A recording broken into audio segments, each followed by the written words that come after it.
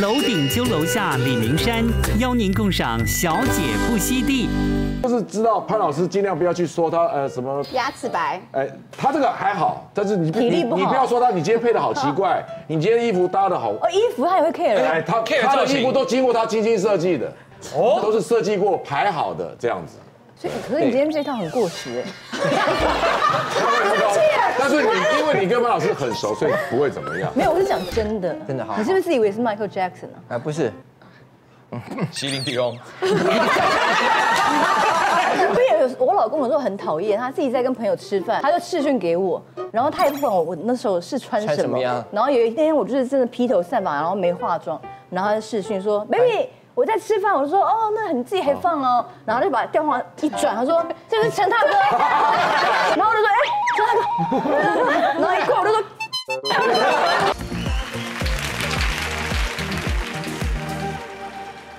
好友之间互相打打闹闹、开开玩笑，这是在所呃难免的嘛。但是有些人就是不小心开了一个玩笑之后，直接大爆气，走心离场。对，有些人真是真的很玻璃心哎。你知道上个礼拜我们不是礼拜四要录影，然后礼拜五休息，然后礼拜六又要录。对然后我有一个好朋友就打在礼拜五打给我说，你要不要来那个出来喝个酒什么的？我说不行，我明天要录影。他说又要录影，他比我还气。我说 我说你干嘛这么凶这么气啊？我对说是我要去工作，又是你要去工作。他说我天天就烦。然后，然后就完全影，对，就完全影响我的心情。然后我就已经有点不爽，火已经上来了。然后最后他就说：“你懂不懂什么叫享受人生？说走就走，一天到晚只会赚钱是什么什么。”然后他最后讲了一句话把我惹毛，他说：“你看看那一身铜臭味。哇真的，然后好羡慕哦！我超羡慕的，我没有这味道哎，这怎么弄啊？发票味，对啊，怎么弄？不是发票味，发票味比好比铜臭味好吧？谁要铜臭味全？身都是霉味很重很。重，这然后嘞，句这句话就把我那个整个人爆掉起来然后我就说，我好想听你骂脏话。然后他就那个他就不敢惹我，大概两到三天。哇！所以就是朋友之间的底线，大家都以为是可以，但有时候因为我后来有听到他说铜臭味，然后有隐约听到这样，然后已经来不，他应该是要开玩笑，可是已经来对不及，来来不及了，收回去。对我已经就是太气起来。好，所以今天就来到现场是两组好朋友，他们都有曾经有一些小误会，然后今天我们右边呢也有我们的调解员，对欢迎三位迎，Tag、Baby 跟张宇。你们应该不是容易走心的人吧？我们不容易，但是我还蛮爱开玩笑，所以我都不知道会不会不小心，嗯不是那种 drama，譬如说他那天哪个心情不好，是我头我的口头禅，就很常会讲说白痴哦，就明明没有什么，但我只是开玩笑说白痴哦，但是有的时候是没有任何意义的。有些人不喜欢被骂白痴，然后有时候有。跟朋友一定是他如果为了这件事情生气，那就可能他那天心情不好。对可是我可能到公司，我同事跟我讲什么说白痴哦那不行啦。可是我不是心情不好的讲，可是我担心我会冒犯到别人。同事可能会你那吓到不是真正的朋友啦，对，就是比较浅，对交的比较浅，太 low 的朋友，那个不要在意不是。说不说，就是交的交集的没有到这么深入。因为如果只是一个白痴白痴哦就生气有点就生气对啊而且他语气都是那种开玩笑的的，白痴哦，你后那天跟你吵架那个朋友，你后来也在理他吗？马上和好了。对，真的好朋友啊。对，但是有时候我还是会开玩笑，譬如说有一次我前男友啊、我我在他家，然后跟他室友聊天，我想帮他室友介绍一个女生，然后那个他室友就说啊，可是你那个女生朋友好像跟我没有什么话题聊。我说你看我跟我男朋友，我们也没话题聊，他做区块链，我做美妆，我们有什么好聊的？然后我男朋友在那个房间听到这句话，他就整整气一整晚。我们两个没话聊，这个也算玩笑吗？没话聊，我还是愿意待在你身边啊。对啊，所以就是很容易，我不知道谁会因为什么点容易生气，所以我这个我就身为调解员的话，我自己会说完全没错，是他太爱生气了。我觉得有时候会有一些词很容易激怒别人，比如说那个有生过小孩的女生，如果她维持的很好，对。然后你开她玩笑说，哦，你是很漂亮地方妈妈。哦哦，哎呦，地方妈妈，对这个词，所以你看到地方妈妈，你会抓狂是不是？我会抓狂，在内心就会翻白眼，翻了八次。为什么地方妈妈会生气？因为地方妈妈就感觉是那种好像贬义词是贬义词啊，就人家明看起来像少女或小姐，然后你就说她是地方妈妈。那区域妈妈就比较好。区域妈妈比较你是个很漂亮的区域妈妈，我是区域的，那如果说你还是叫地方妈妈？你真是一个好妈妈，可不可以？可以哎，就不要讲到是什么妈妈就是不要有那个就是地方这个词，哦对对对，就好妈妈可以。但如果是要追那个女生，我觉得不要讲地方啦。我是听过很多那种三十三十岁的女生都会抱怨说什么怎么办？我现在还单身，我会不会嫁不出去？那我听到就会觉得她是反讽，对不对？不是，她是自己真的在讲她的烦自己在讲恼。真的啊，是真的啊。可是我已经三十五岁啦，我还是没有结婚啊，那我就会觉得 啊，呛我，你知道吗？哎呦，他没有那个意他思。反话，那个是反话，他他就是你，他就希望你听人家讲说，你哪有老，你这现在才三，他就想要听这个。对，对。啊，想听你听到这种反讽，你就要给他再给他钻下去。而且他真的长得很抱歉，马里奥又不是又不干你的事，你就激动。情绪高涨，像我之前就是，我觉得我前男友他很喜欢乱开玩笑，可是他不会拿捏分寸。他有一次就是我当时在我爸爸公司工作，然后呢，他有同事，那个同也是我同事嘛，可是那同事就跟我爸同差不多年纪了，所以我叫他叔叔。就那叔叔就有一次跟我在吃午餐，他说：“哎、妹妹，晚上要不要找你男朋友一起出来吃个饭，给叔叔认识一下，叔叔帮你看一下这个男生。”我说：“哦，好啊，那我就打电话给他嘛。”然后我就让叔叔直接跟他对话，然后我就开听扩音，然后呢，那个叔叔就说：“你叫什么名字？”他说：“喂，我是丁祖信。”他把我爸的名字讲出来，哦，他我男朋友竟然想说要跟叔叔开玩笑，然后就说啊我是丁祖信啊，然后骗他说他是你爸，对，他就开玩，他想要跟跟这啊个叔叔拉拉近拉近关系，然后他就开了一个很低能的玩笑，然后叔叔直接立刻变脸，然后一句话不说，手机还给我，然后我就很尴尬，很尴尬，然后我就说，我就就说你到底讲什么东西啊？他说没有，我就开个玩笑而已啊什么的，然后我就好算了，你刚刚的白眼又翻不起来了，你没办法诠释这个东西，就不要翻。为什么又打什么你就？会觉得这人怎么可肉以毒肉毒。这么白目，怎么可以开这种拿我爸的名字开玩笑啊？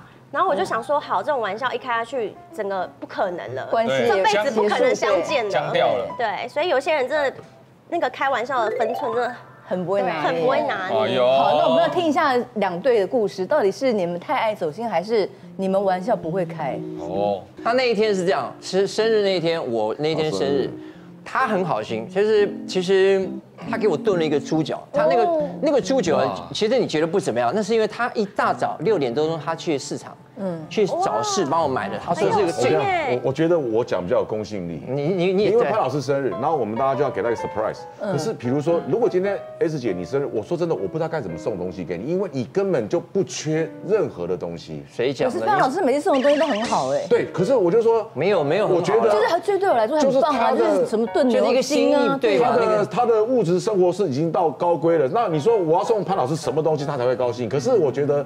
他很喜欢吃我做的东西，做的菜，我就特别去买了猪脚。哇哇！然后在前几天我我们一起录影，我就说，我说现在能够让我下厨的朋友不多了。然后哦，真的但是哦，对对对，然后我就因为他以前他女儿喜欢吃猪舌卤猪舌，我都是他会弄他会弄，而且是还没有冷冻，我就送到你家去。我说赶快去吃，赶快吃。哇！然后我就是他生日之后，他他不知道我会参加他的 party，后来我就带了我卤的猪脚卤汤两大包，因为我也是一起卤，我也可以吃一点。可是我觉得那个是我好好真心为你卤的猪脚，你却因为也许当天他收到太多东西，然后他就说：“哎，那马六，我说老师，这是我帮你卤的猪脚。”他都还没有吃，然后就拿了其中一包说：“哎。”就送给他的他的学生一个高比较年纪大的一个80岁长子我说你你好不尊重我对你的用心，你看。这还好吧？对，但是我跟你讲，重点来了，他不知道那个内容因为他给了我那两包东西，你你一包有留着吗？一包留着，因为那个那个奶奶我知道，那个是我班上那个阿阿妈，那个奶八十五岁啊，嗯，她是我是干妈，她把我当干儿子一样，所以她对我很疼我，我知道她很喜欢吃猪脚，喜欢吃猪脚，我想说，哎，她给了我两包，哎，我说阿莫就给了一包给她，让她带回去吃，我说这个这个好好吃，她开始他翻脸了。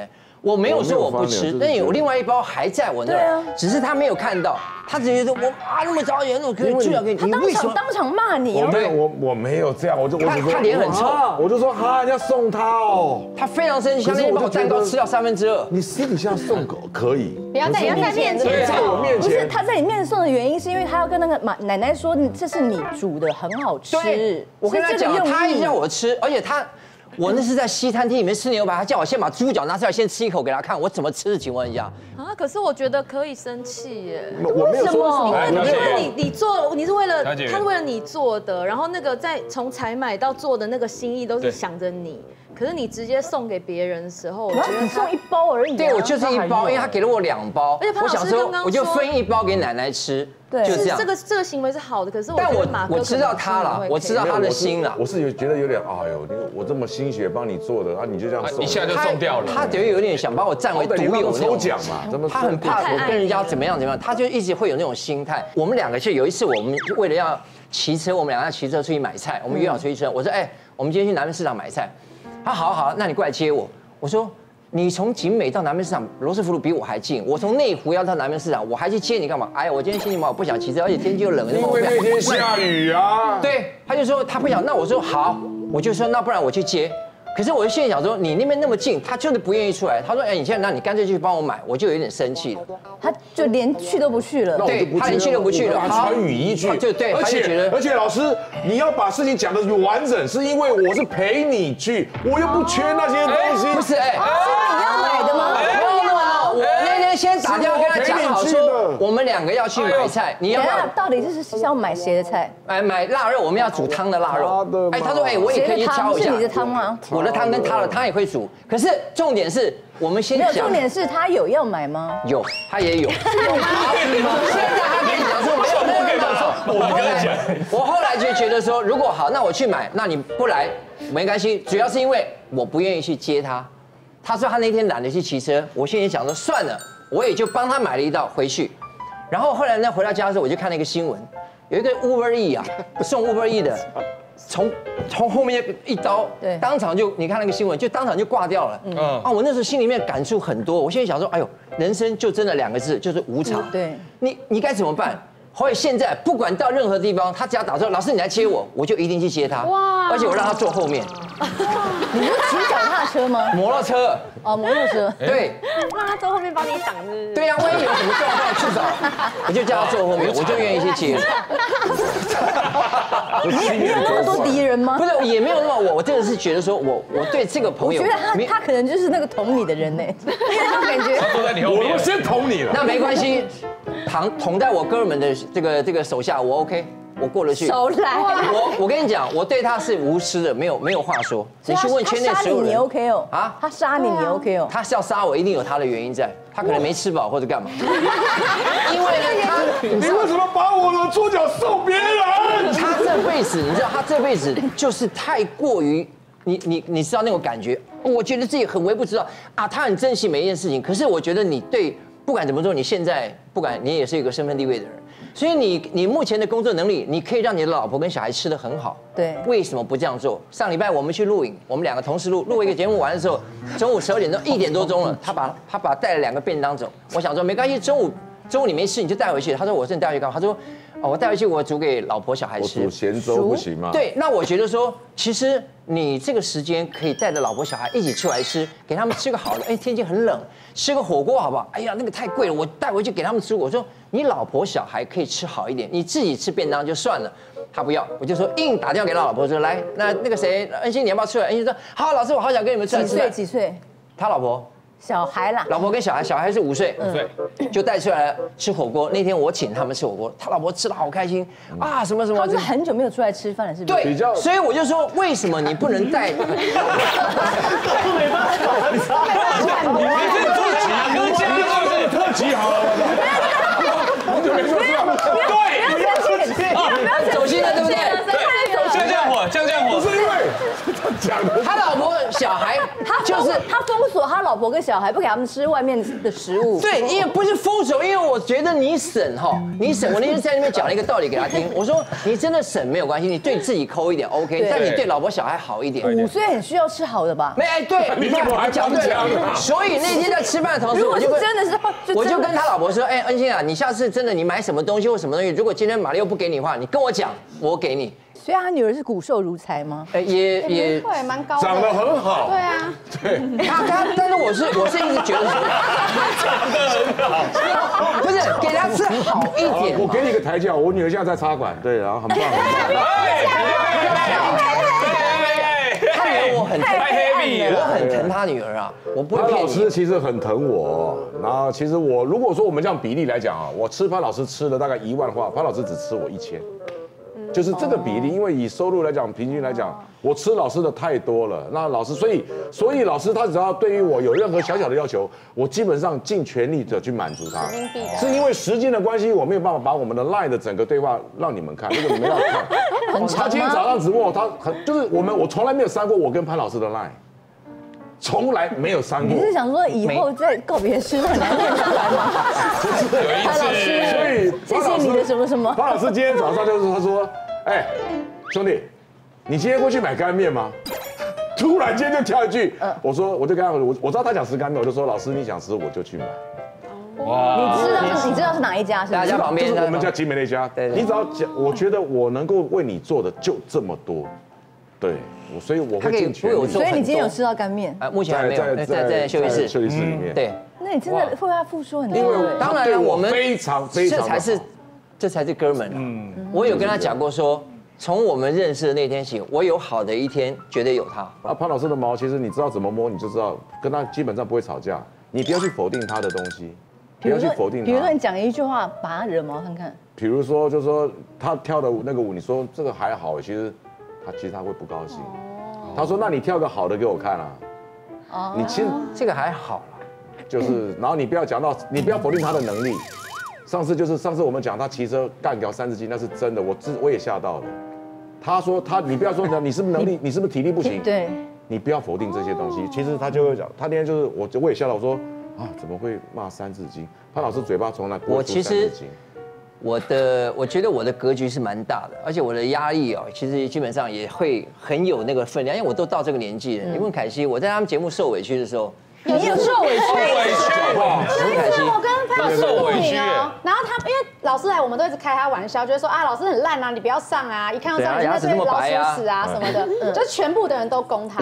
然后我就发现他那天，因为以前我们都会一直开他玩笑，然后他都不会怎么样，但他那天呢都不讲话。然后我就对，然后我就觉得好奇怪，然后连奶哥都那个私下问说，哎，为什么他都不讲话？然后但他也没有去问他这样。然后我就想说，可能是我们想太多。就隔天我录影遇到他，他就跟我说：“凯西亚，我昨天真的超不爽的，我昨天是真的生气了。”他说：“我不要再去你们节目了。可是不是每次都这样开玩笑吗你？知道你知道我们所以那一天是谁讲了什么话刺到你？其实就每一个人啊，然后 他也在里面啊，然后哪一个也是可是牙齿很白牙齿很白是真的对，然后你牙齿很白，你又喝了漂白水嘛，对不对？你又去割了双眼皮，你他竟然还问我是不是去打了肉毒？他真的，你们自己看他真的很像打了肉毒的感觉。每一个人都说你割双眼皮，我打肉，你问他，没有，什么他问我。这边做哎，你有没有办法翻？我可以翻白眼，你没办法翻白眼，对不对？没办法 对不对？老师，你再翻一次。对，我不会翻白，怎么翻？你刚说什么？你说 我不会，我不我不会弄这个。你不要这样，你不要这样，会想到那个。啊，反正反正就是就是很，我最讨厌人家是去误会你。那你明明知道，其实我会做一些效果，所以我刚刚让大家说你是不是打肉的感觉？你有生气？那个还好，交情好没有没有，因为我已经被问习惯了。其实你说我这个年纪到底有没有打？我必须承认我打了，打电波我我打了三剂莫德纳嘛，对不对？两一剂的这个流感疫苗，好不好？可以这样开心了吧？承认。其他医美没打。哎，对，其他都没打。老师，你没有都没有打电波吗？谁你没有打电波？没有我有打电波啦。我有一次，我有一次在去他们节目里面打那个斑的那个叫什么东西啊？哦，皮秒。皮秒对啊，那皮秒个啪啪啪啪啪啪那个，因为那个斑嘛，嗯，哇塞，那个打的被他们讲的跟什什么一样，我我总觉得啊，不算了算了，别少碰这些东？西。你们想要什么？我忘记了，是不是讲说什么打说割，说打到我割双眼皮啦，就是每一个人都说你是不是割双眼皮啊，什么什么之类的，然后又说你看你割了双眼皮之后，然后一个牙齿，你看又用漂白水漂漂漂过了牙齿，什么什么，久了以后我我会我会会所以还是说太多人一起攻击你，对啦，因为你有一种被孤立的感觉。而且老师说，因为他他女的女儿儿会看冲冲冲，所以所以他很在意。他很讨厌人家说我在你你们你们在我女儿面前这样子数落我，那我怎么面对我女儿？对，他就我常常在节目上做一些很好玩的事很很 Q 的效果，去让大家觉得开心，这是我的想要做的事情。可是有时候小朋友，你知道当局者迷，这看的人会觉得当真啊。爸爸怎么被我女儿说：“爸爸，你怎么那个那陈哥为什么要骂你呢？哪个为什么骂你？他们说什么你好笨什么？但你其实你明明知道有些有些东西是我们自己明明会，我知道这个答案，可是我必须要做另外一个效果来让大家玩。对可是小朋友会当真，你知道，我女儿为了要去玩这个，为了让觉得要讨回她这个面子，她把《冲冲冲》里面所有的东西全部背起来。你女儿我女儿现在很厉害，超厉害。她是要背，她说我现在，她说爸爸有一天我去上的时候，我就一定要把哪个给干掉。对 一跟学瑞，你们是其实我。我们两个很好，我们从星光大道第一届啊到现在也十几二十但其。实我跟他认识算更早，因为我以前国中的时候，我就我有一个国小同学跟我同个补习班，他就一直跟我讲说，他有一个同学唱歌非常非常好听。然后后来我在星光才发现他讲的就是他，就是同一个人这样子，所以我觉得我们俩算蛮有缘分的。然后我觉得我们俩在演艺圈也算是载浮载沉吧，就是星光一的时候出来就是很有光环很红嘛，到后面我们两个其实都没什么工作的时候，就会互相安慰对方。所以我一直觉得我在他心中应该是一个还蛮重要的一个存在。是啊。但有一件事我超在意的，就是他是一个很很热、很喜欢热闹的人。然后他每年都会办那种大型生日，就可能一次都是七八十、五六十人。你有这么多朋友哦？你看他每次他生日的那种合照，都是那种，可是那些人都是你认识的吗？对啊，真的很好吗？都是认识是。澳洲部落的人下来 的。没有没有没有，就是从以前可能就出道之后，然后有陪在身边的。然后我国小同学都有受邀哦，但是他从来没有邀过我，怎么可能？怎么可能？我不知道为什么。然后我就有一次就每一受对我就受不了。有一次我就问他说。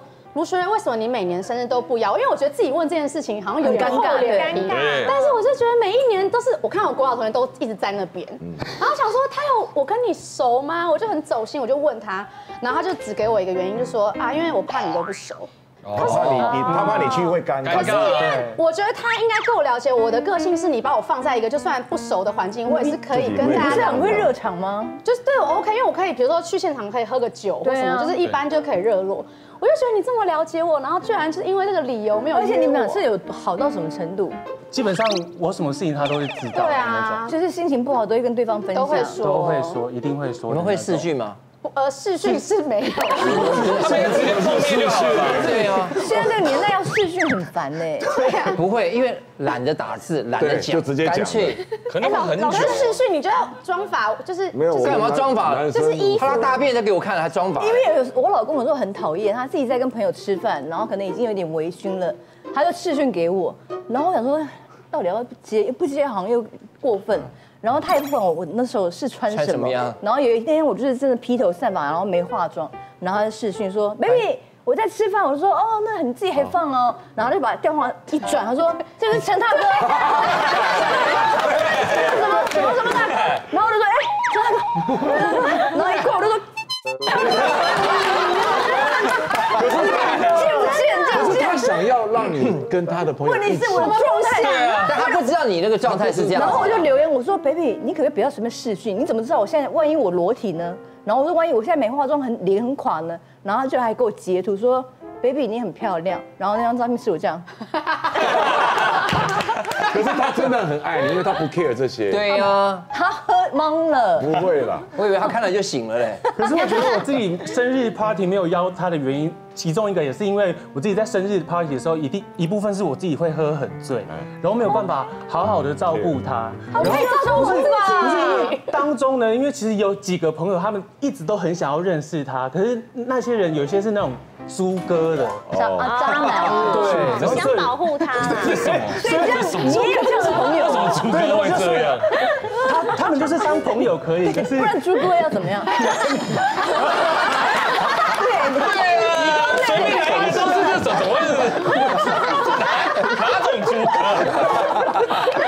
对，然后我就觉得说，我就不想要让他们就是靠近他这样。不想让他们趁机了。那你可以不要邀猪哥，然后邀他啊。对啊，我们可以另外那就没有朋友了。可以啊，我们可以我们可以另外办啊，可以另外办。啊，就没有约过。办一场没有猪哥的，我要讲讲到另外一半，我想到有一件事，就是我们有一个群组，然后也是因为我觉得我们那群朋友就是不是那种每天都一定要联络的，但是就是你们一见面就会觉得一见如故，就还是可以聊很多，就很多这种朋友。然后我们有个群组，就是因为大家都很忙，所以平常比较没有办法那么常聚会。然后有一天我们就好不容易终于瞧到一个时间，两个月前就瞧好了，就说那我们就是瞧那天的晚上九点，然后去酒吧喝酒这样子。然后学瑞就说，可他那天要驻唱。我说没关系，那我们就先约，我们前面几个先更新我们情况，然后再等你来，我们可以等你这样。他说他大概十十一点半会唱完，然后就来跟我们会合。我说好好，我们就想说那我们就约九点那边吃饭等他嘛。结果到一点半的时候，他还没出现，那一点半，然后我们就打给他，他就一直不接哦，然后最后才讯息说，哎，我不小心喝醉了。他驻唱的时候喝醉了，是驻唱文在现场喝醉吗？对，他就说什么他唱的时候去跟去竹桌敬酒，然后他就喝醉，然后他就问我们说他可不可以不要来。约了两个月我，们是特别为了你约了这个局，然后他居然要放我们鸟。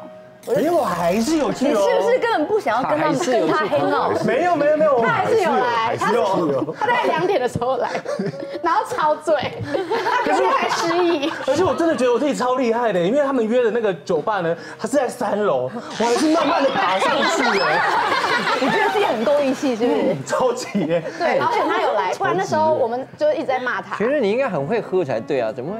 他我很少听到原住民会喝醉的。不是因为我好像很多真的很棒就是高估自己，我也觉得自己很会喝，可是很长就是就两三杯这样，就就已经过去了这样。你生日可以约到几个人？我我其实你那次大大寿我我可以约到很多人，但是我没有想，我只有真的是非常妈吉的朋友会约的。我像我今年我就没有办了，我今年是完全没有，是他们是给我 surprise。我今年就是跟家人、老婆、小孩在吃，所以我不要想说不要再去麻烦别人。那我去年因为六十岁的关系，我就办了。所以如果你真的要约十约几，个啊，十几个而已。都是但但但是都是全都是大咖厉害的哦，哦，都是大咖，都是大咖哦。还有几个大咖是因为有工作没有办法来的。应该是也有花莲市长吧？呃，会啊，所以你看人家六十岁，圈的也才朋友十几个，对呀，你三十五岁七十七十几个哎，这太夸张了吧？趁年轻的时候先玩一玩啊。他喜欢热闹啊，对或是他朋友可能会带朋友来，然后就约约约约，就整个包厢就满掉。所以就干脆那最后是你买单吗？对啊，所以反正就生日只有一年一次啊。哇，七十个人的酒水单要多少钱呢？很很猛，可是有时候不会不见得会会花到，十几万吗？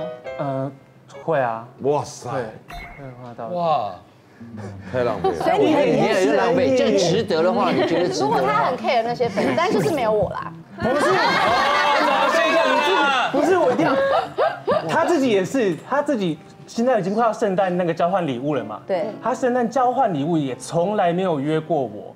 他每年都会办吗？对，每一年他们就会大有，party 是不是？也不是大 party，就是十个、20 12十二十十个然后都是女生吗？呃没有男女都有男女都有，然后但是都你固定认识的固定的一群。对，然后也都是我我认识，跟你很好。对，也还算蛮好的这样子。对，然后有一年我就是真的忍不住，我就问他，我就 说，干嘛一直忍不我忍不住哎，不是，就是就是自己问，真的开口真的很很难、啊。我知道，可是因为他又太想知道原因。对，那因为已经好几年了，我就问他，我说，哎。你们今年有要就是圣诞就交交换礼物嘛？这样，他说 哦有啊有啊有啊。我说哎那你怎么没有顺便找我一下什么的？他说没有啊，因为歌手不是通常圣诞节的时候都会蛮忙的哦，所以我们想对啊你说我们就不不会去特别找你这样子，就让你圣诞节的时候你可以去就是跑个商演活动啊之类的这样。但有一年我真的太气了。怎么样？因为那时候圣诞节交换礼物，那时候已经交换完了，然后我就很常看他们的那个版面嘛。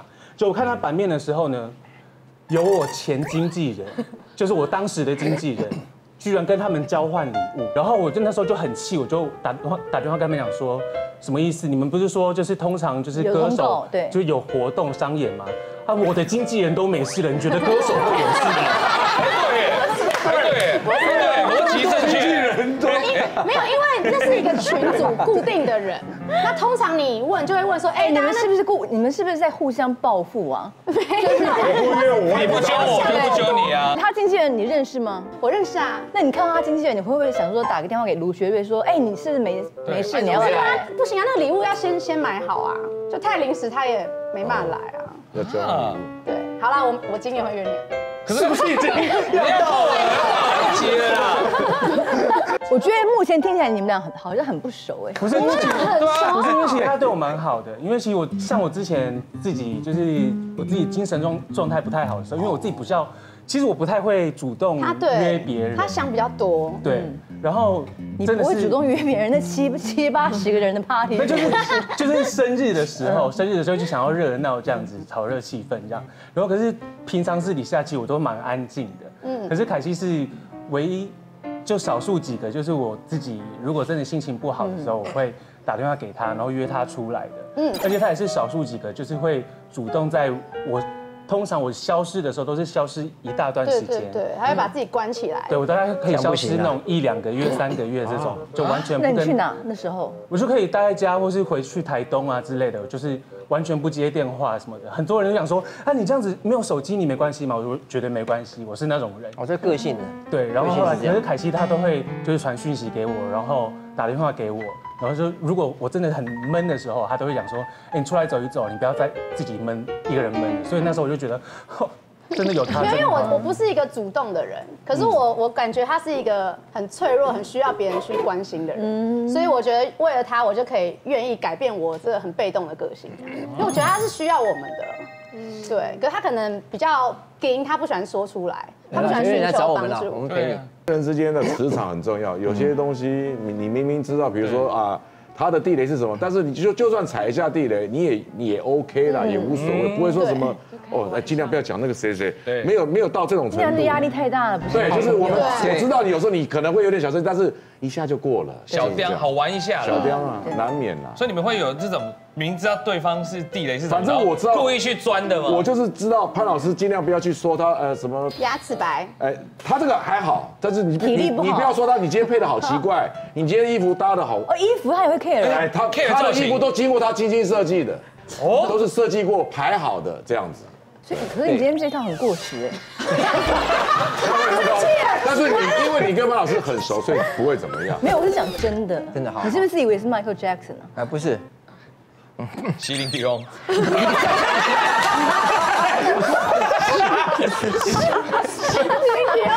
来一首啦，逼我啊！哎好了，不要玩了啦。所以是什么？是什么啊？钻故意钻的。呃，不是，因为反正他反而会有时候，哎呀，我觉得你那一次是因为我跟他一起去民事露营，那坐他的搭他的车便车，然后就聊到我们的家人，聊到我们的老婆啊孩子什么的，然后结果他就他就讲说，哎呀，我们家拉拉啊就长得比较 short，比较娇小，他说，然后他因为我们会跟他分享我我们家普密。呃，长得很高块头啊，怎么样嗯？他说、啊那你好啊，对不对？然后你们你们个子高啊，我现在就担心，因为，哎，我就是怕他会遗传到他长得不是很挺拔。我说那不然，呃，我们家普密有有吃这个这个成长定啊，那你要不是？他说啊，成长定，他很害怕给小孩子吃不好的东西，嗯嗯，然后他给我的都是好东西，我就说那不然你也试试看，我们有在吃。后来没错，后来我是真的是让我女儿去尝这个东西，然后他还补我一句话啊，那叫拍底出猴顺。她跟我这样讲，拍底。她说拍底啊，那个底啊，那拍底出后顺。我那时候心里想说，哇，你怎么很膈应？你怎么可以兄弟你跟我讲这种话？但是我必须真的是，呃，我我有一个好的习惯，就是可能对于我身边，我对于这些东西，我势必是一定要筛选挑过，对。精挑细选，我一定要知道，对。要知道这个结果是怎么样，而且从。呃，那个时候是我记得我们拉拉那个时候是好像是两年。七岁嘛，哎，那时候开始吃嘛，七岁。后来你跟我讲那时候七岁，然后一直到目前十几岁这个当中，这个过程当中我就发现不一样了，哦，所以我才说我今我今天要跟大家分享，我不是告诉你说你今天非得要用这个东西，我只是告诉你，我女儿就是因为她，我也是，我觉得所有的父母亲对于小朋友成长过程，他都会非常 care，嗯，对不对？那我今天告诉你，我到底是用了什么，吃了什么东西，是让我觉得让爸爸妈妈们都非常的放心。我现在带给你看。哎呦，当然，家里面的小朋友让他吃的安心，这是我们做父母亲的最大最大的责任。所以我其实我就是让我小朋友吃一些成长力。那这个成长力是什么？它有一点。嗯，牛奶草莓的口味，它很特别。它特别是，你知道小朋友喜欢吃零食，对对不对？喜欢吃零食的同时，你会发现这个零食上面它还有一个，就是它有一个标示，上面是一只小猴子，哎，它在吃这个同时，哎，我跟你讲，你们现在尝可以尝尝尝一下，草莓真的很尝一下它的味道，它有点像哎，它草莓牛奶真的好吃。。这小孩一定很爱吃啊。对对，就把它当成零嘴在吃。就像糖果一样。那你也知道，其实我们在小朋友的这个些成长的过程当中，它有很多的因素会影响到他的成长。嗯，还有晚上挑食，这个不吃那个不吃，然后晚上睡眠要玩手机。熬夜，啊，熬夜，熬夜。哦，这个都有可能会造成他的成长过程会有一些迟缓。问题，对我让他吃这个东西的原因是很简单，就是因为我觉得第一个。它是一个让你觉得很放心的一个成长定，然后呢，你会觉得说它其实，呃，比起我们平常吃一些什么粉状的啦、果冻状的啦，来的方便，吸收也快。对你没有办法说想到说，哎来来烧水泡，没有这么高纲啦，就是你就想吃就拿来，就直接咬一咬就吞，随时就放到嘴里面。好上口一。天可以吃几颗？我我我给我女儿一天吃四颗，这么多，一天吃四颗，你看。她从七岁那个时候的照片，哇哦，那个时候七岁的时候，他大概是在我在我的肩膀这边，嗯还不到肩膀的位置。现在十岁已经到我的肩膀，串的已经上来了。串的非常快。马上长这个是我们去泰国的那个对，我们就是去泰国那个时候，我女儿是标准的三七身，现在长得非常的长，嗯，一百四十几公分，她才五年级而已。她是现在运用了最新的浓缩技术啦，然后因为现在你说要用钙啊，你单一方面的钙不行，那用复方钙，一两颗是算是一份，那它有对。分，它有三百毫克的钙在里面，哎呦，那不是单一的复方钙哦，那就等于像要十斤的鸡胸肉，然后三十六碗的鲈鱼汤，嗯，哇，哎，这个不得了，这个就跟七百五十克的猪脚。浓缩。那其实它这个东西是在浓缩里面，这三种很厉害的生态，你你让小朋友，可是其实你帮助你不用担心它，它就是帮助钙质的吸收啊，你会吸收的更快。对。你不用再吃这个东西，你要捏着鼻子，哎呀，你你要长高一点，你给我吃个中药啊，呃，你要怎么样那？哎，你是哎你知道有多少的小朋友在成长的过程里面，是不是父母今天要求你们吃中药的？对啊，对不对？吃这个这个什么什么什么大人什么等等大人啊，等大人，很短很短没有对啊没有老师，你说这个有。三十六碗的鲈鱼汤，对可是一般人都平常没办法吃到那么多。你没有办法这么辛苦去熬那个汤去吸收，它最主要是因为什么？它有专利的什么？聪明灵脂跟什么？芝麻素。就是帮助睡眠。对，因为很你知道睡得好，对。其实小朋友的专注力不够，睡眠不好的时候，就是他专注力就不够。我好怕小孩熬夜哦。哦，可是现在小孩子很难不好，除非说你很有定性，说九点半就上床，对，除非妈妈而且上床就要关灯。对，那你说不玩三 C 很难。我那天讲说啊，三睡觉前三十分钟不要玩 iPad，医生跟我讲说，马里奥是三小时，不是三十分钟，不可能啊！其实都不可能。对那你如果说在不够的睡眠下，小孩子的专注力他容易晃神，容易不专注。可是有了芝麻丁跟聪明磷脂之后，可以帮助他睡眠。在有限的时间内做充足的睡眠，可以让他提高脑袋的呃反应跟逻辑，所以这个很多他的反应跟逻辑会特别的。快。我必须说，他让他的专注力变好了。他看一个东西，甚至他背一个英文之后，他很他会很努力背。我有时候叫他，比如说，哎，然后宝贝，我是那个呃草莓帮你弄好了，他没有听到我在讲什么，他就会很认真的把他那一段看完。吃一天两天其实看不出来，要要要一阵子，他这么长的时间，你可以你可以很清楚、明显的发现他在学校这个过程是一直往上走的，哇，你就会觉得好放心啊。能够提早去补充营养，这是最重要的。另外，因为这个东西是要长期的去补充它的这它的养分，所以它有经过了所有的认证 SGS，但没有没有西药，肯没有因为所有的这些食品就一定要经过它的对。认证嘛，没有西药，没有荷尔蒙，没有一些激素。所以他说，其实我们说小朋友年龄层三到十六岁是他的黄金岁月，这个时间的成长，你让他在这个时间维持一个很好的体态，哦对。那以后真的不得了，你不用担心。我其实还是这样。呃，三岁以前我一天给他吃一颗，但是到现在我还一天吃四颗，四颗。所以一哎呦它是比。较强力的补啦，对。强强力的补啊，吃素的也可以吃，蛋奶素的也可以吃，对是真的它是植物性蛋白，它不是动物性蛋白。大人都可以，你不要觉得只有小朋友孕妇也可以啊大人也可以，大人为什么要吃这个？它可以补钙啊，它就是钙。哦，钙质啊。所以说这一罐呢是解决了爸爸妈妈很多的烦恼，不用再准备一大堆瓶瓶罐罐给孩子补充了，对，一定就搞定了，一定就搞定了，真的。方便了。如果真的你很安心，要让你的小朋友能够在这个成长的过程，他能够超越别人，或者成长过程他觉得，呃，他上课的那种感觉反应灵敏都会变得比较快，而且他可以很专注力去做任何一件事情。嗯，这个很潘老师给你重要良心的。有建议，有自信很重要。真的，潘老师给你良心的建议，真的。很厉害的。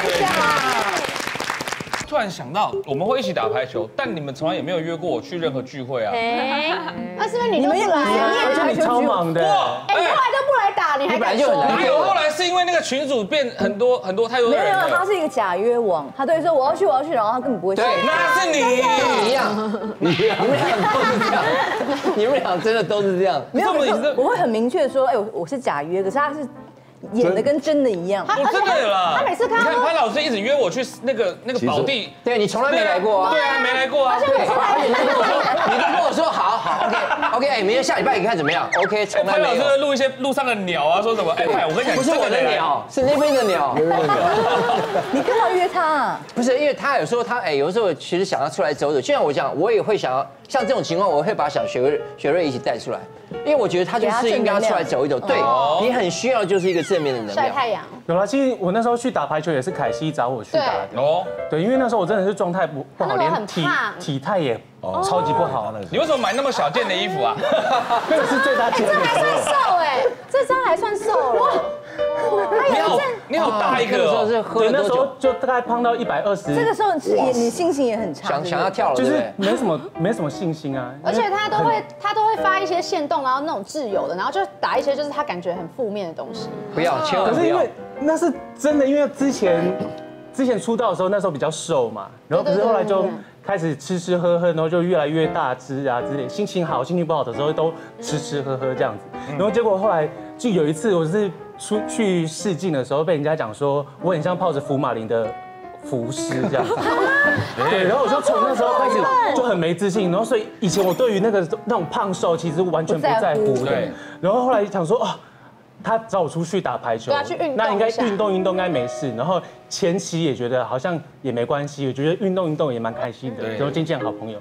就有一次呢，嗯，他不知道哪根筋不对，他居然就看到我的时候，他说：“哎，陆学瑞你怎么没有什么动，你就开始狂流汗我？”说，而且他刚刚他要跳沙球，我说你刚刚有跳吗？你跳得起来吗？对，哦，怎么突然要开始攻击他？没有，因为他那时候就很胖，就开玩笑嘛，因为就很熟啊，想说他就不会生气啊。可是，一前面几次打到他都不会这样讲都。不会这样子，然后就突然这样子，然后那一天讲最严重的是，我真的是已经太气了。他是居然有一次，我们那时候已经在休息了，我们休息的时候他就看手机，他说：“ 哎，刚刚说松山高中这边有正央，哎，是不是因为你害的啊？”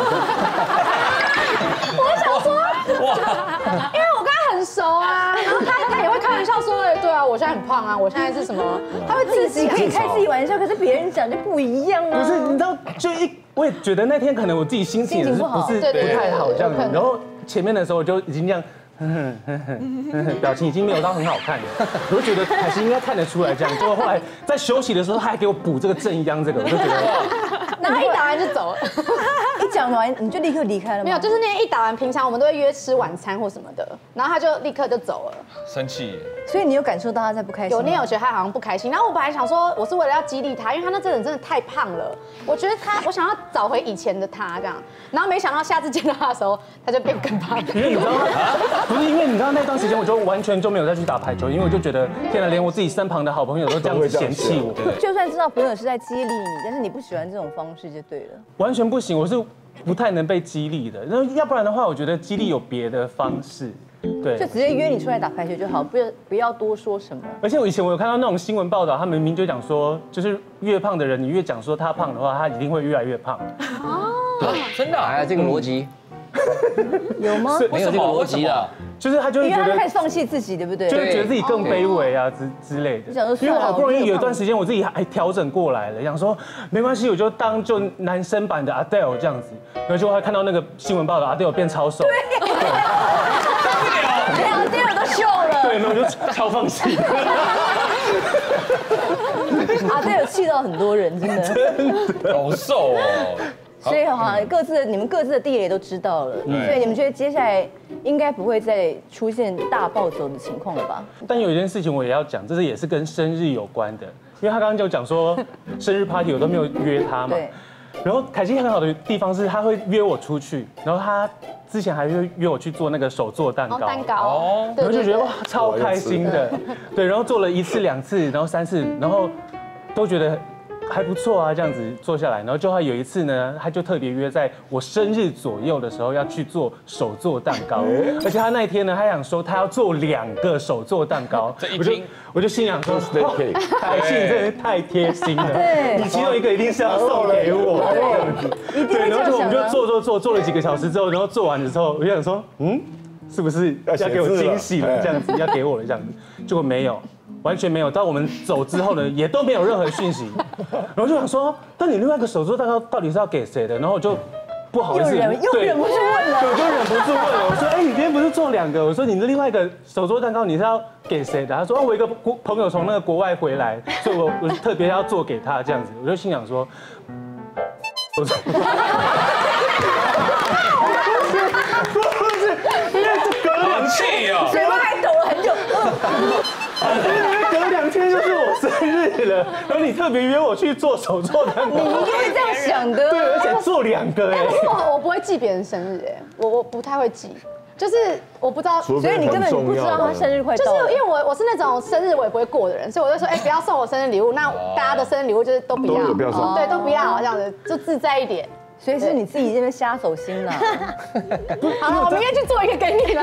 补一个补一个是非个想要吃蛋糕了？所以给你两对朋友之当中，应该是学瑞爱走心，然后玛丽又爱走心，应该是这样没错吧？对呃，看起来对了，但承认是但是真正的好朋友，就像他们刚刚说的，有问题我是可以直接问你的。对对不是真朋友，你是问不出口，这个疙瘩就永远在，他们都可以当玩笑一样过去，所以真的，而且走完心立刻和好。对啊就是，就是真的啊知道，就事过境迁就变成一个以前好笑的一个故事了。对，对啊，所以好，祝你 早日康复了。没办法，Sorry Sorry Sorry。